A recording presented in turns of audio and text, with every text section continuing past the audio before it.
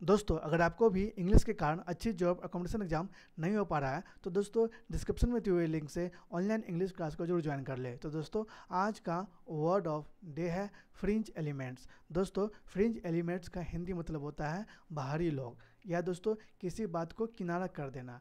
दोस्तों, इसका ये मतलब होता है कि कोई भी कोई भी सभा या संगठन होता है, वो काफ़ी सारे व्यक्तियों द्वारा बनता है।